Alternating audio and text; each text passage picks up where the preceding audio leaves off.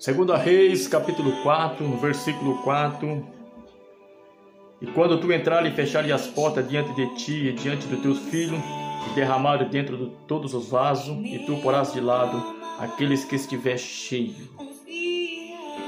Ali. Olha só, o profeta Eliseu falou para essa mulher: vai para a tua casa e fecha as portas. E a Bíblia diz que ela foi abençoada com as portas fechadas. Eu quero dizer uma coisa para você, que Deus está abençoando você com as portas fechadas também. Portas abertas são provisão de Deus, mas as portas fechadas são proteção de Deus. Noé e a sua família foi protegido com as portas fechadas.